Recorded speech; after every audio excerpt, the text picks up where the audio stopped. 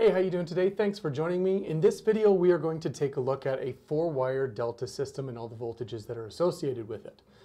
First of all, I have a 240 volt, three-wire delta system drawn out here, which means we have 240 volts on each phase. It also means we have 240 volts line to line. I have it represented over here on our Cartesian plane. We have voltage A to B is our reference at zero, and we have 240 volts at zero degrees. I then have B to C 120 degrees behind that, which is also 240 volts, but now it's at 240 degrees.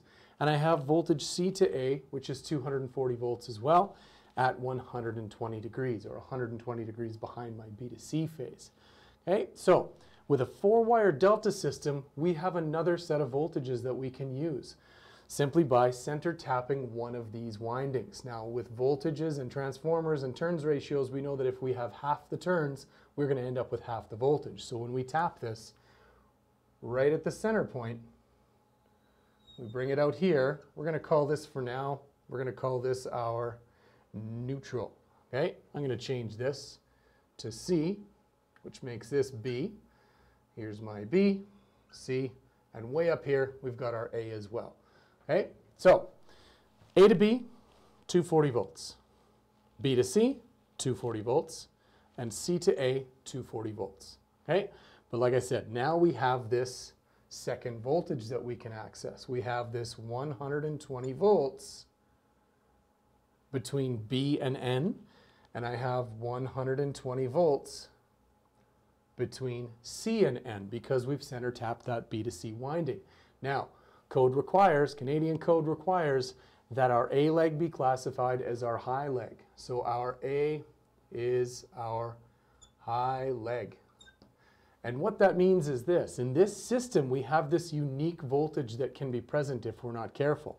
If I was to actually measure A to N, we could plot this out. We could say, well, we know that A to N vectorially is going to equal VA to B plus, if we continue this direction, VB to N.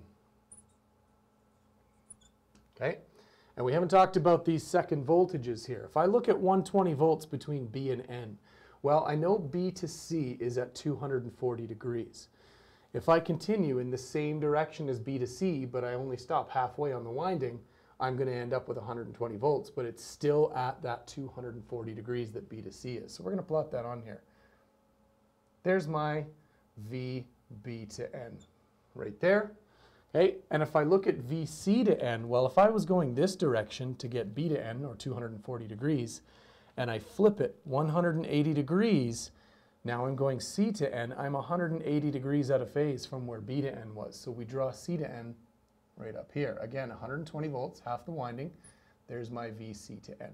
Okay, so back to our high leg voltage here. A to N, voltage A to N is equal to A to B plus B to N. Well, let's follow that. A to B is, we have 240 volts at 0 degrees. There's my V A to N, or sorry, A to B rather, plus VB to N. Well, VB to N we just proved was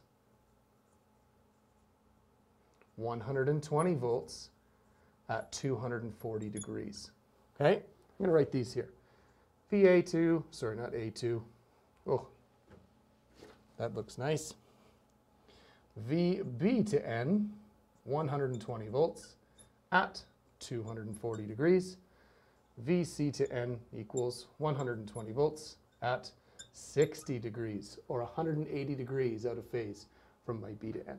Okay, so VB to N, 120 volts at 240 degrees. We can break this up into a horizontal vertical chart.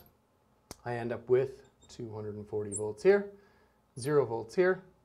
I have 120 times the cos of 240 is, should be, uh, uh, sorry, negative 60.